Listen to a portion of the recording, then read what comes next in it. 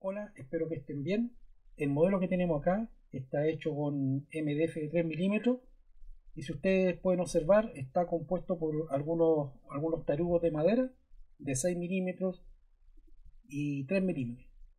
Por ejemplo, acá tenemos un tarugo que representa una tubería, ¿no es cierto? Un tubo de escape.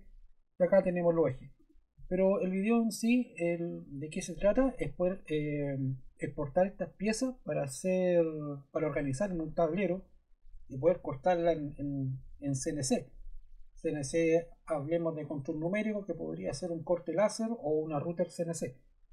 Eh, este modelo es bastante pequeño, no mide más de 100 milímetros, pero la idea es cómo se pasa, ¿no es cierto?, a, a, este, a disponer las piezas en un tablero y poder cortar.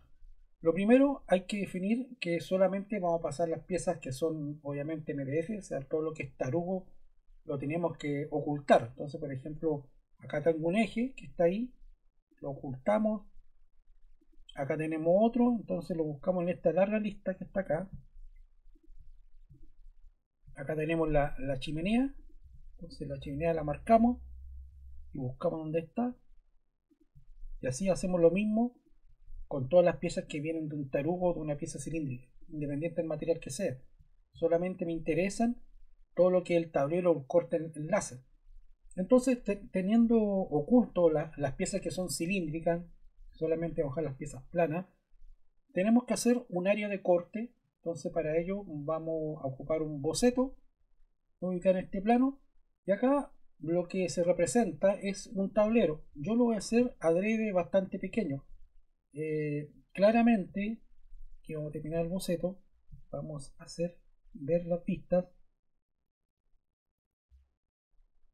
Ahí, ¿no es cierto? Claramente que todas estas piezas no caben acá, pero lo hice para, para demostrar que modificando este, este espacio, ¿no es cierto? esta área, se pueden, el, programa las calza automáticamente. Esa es la idea de, de lo que vamos a hacer. Entonces, vamos a colocar todas estas piezas acostadas sobre esta área o las que alcancen dentro de esta área.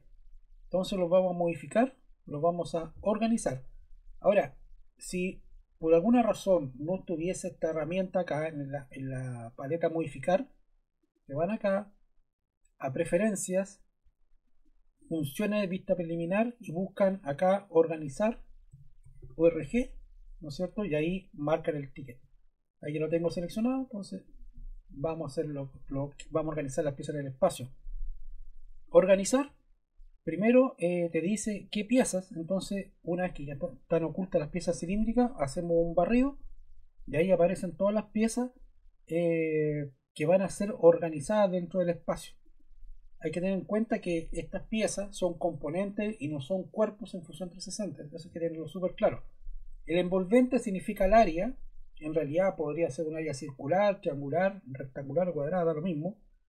Y esto que está acá, si yo pincho acá, se empieza a calcular acá abajo.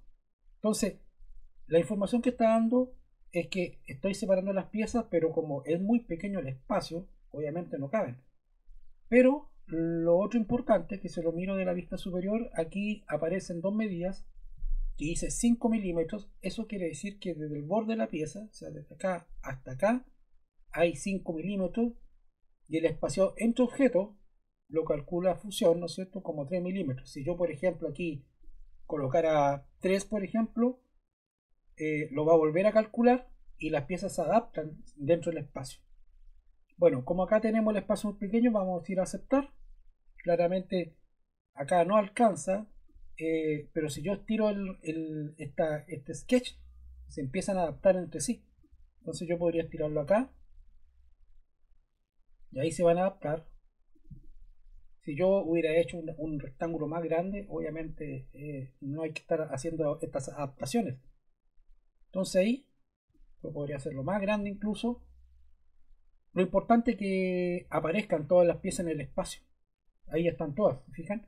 Entonces, no sabemos esta medida, pero da lo mismo, porque este dibujo después uno lo puede pasar eh, sencillamente a dibujo de fusión y después posteriormente exportarlo a un PDF, a Illustrator, a DWG o DXF o a Corel o al programa que usted necesite. Ahora, esto organizar aparece acá en disposición. yo si quiero botón derecho, no lo voy a hacer, pero acá en botón derecho ustedes pueden editar el área del boceto, o sea, el rectángulo que acabamos de dibujar, o editar, o editar la organización, o sea, colocarle, colocarle menos espacio entre pieza o entre el borde, pero yo lo voy a dejar así. Entonces ahora vamos a pasar este a un dibujo a partir del diseño. Aquí aparece mm, el A3, ¿no es cierto? Eh, podría ser horizontal o vertical. En realidad da lo mismo porque yo sé que estas piezas son más chicas que una 3 y hay que organizar en el espacio. Incluso si ustedes tienen dudas, yo la podría hacer más grande. Entonces, por ejemplo, una 2, que es mucho más grande el espacio. Pero aquí lo que estamos marcando, que todas las que están con azul, son lo que se va a exportar como dibujo y estamos sacando todo lo que es eje. Se fijan todo lo que son piezas, digamos, eh, cilíndricas en este caso. Entonces, aceptamos. Y aquí pasa la plataforma de dibujo y va a pasar el modelo 3D más las piezas que están organizadas. Entonces, como pueden ver, aquí se ve de frente. Yo voy a marcar esto. Vamos a buscar el arriba. Entonces, ahí en superior, ahí se pueden ver. Pero acá está escala 1 a 2. Si yo lo quiero hacer, obviamente 1 a 1, ahí se ve, aceptar. Y acá tenemos las piezas en posición. Esto está 1 a 1. Entonces, ¿cómo sé que está 1 a 1? Yo tengo que verificar. Yo me acuerdo que el eje de la rueda eran 6 milímetros, entonces acota. Y ahí marco el, diámetro y se pueden ver que son 6 milímetros. O sea, está correcto la exportación que sea, que sea de 1 eh, a 1. Ahora, de todo esto, el modelo 3D que está aquí no me interesa, solamente me interesa el despiece. De hecho, el marco que está acá también lo podríamos eliminar, lo, seleccionamos, lo suprimimos. Queda solamente la pieza, lo podríamos colocar en cualquier parte del espacio. Entonces yo quiero dejar solamente el despiece. Entonces tengo que buscar acá abajo, organizar, siempre va a estar abajo, botón derecho. Entonces desactivo todo el elemento, excepto obviamente la organización. Y ahí está uno a uno.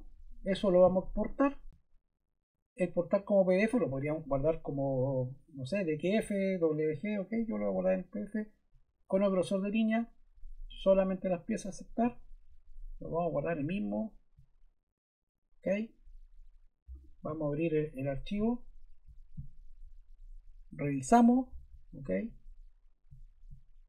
cerramos acá, lo vamos a abrir nuevamente en Illustrator, botón derecho, abrir con Illustrator, acá no se ve el error, pero lo que debemos hacer es soltar la máscara de recorte porque la máquina puede reconocerlo como un archivo, o sea, no como pieza independiente. Botón derecho, soltamos la máscara de recorte, o sea, ese rectángulo que ustedes ven que visualiza todo el, espacio, lo suprimimos. Entonces ahora, como pueden ver, eh, los extremos deberían llegar, ¿no es cierto?, eh, como debería ser, ¿no es cierto?, o sea, el punta en punta. Este es una es una forma de poder exportar. Después, obviamente, ustedes pueden saber el tablero que necesita, achicando la, mesa de trabajo. Entonces, por ejemplo, ahí lo podemos ajustar. Entonces, aquí la mesa de trabajo está dando eh, un tablero MDF, si yo lo selecciono, de 165 milímetros por 257. Entonces, ya teniendo ese trozo, ¿no es cierto?, de MDF, eh, podríamos trabajar, ¿no es cierto?, en este corte. Esto después se guarda como PDF o eh, SVG, ¿no es cierto?, o Illustrator o otro programa de extensión vectorial para que la máquina lo reconozca y lo pueda cortar.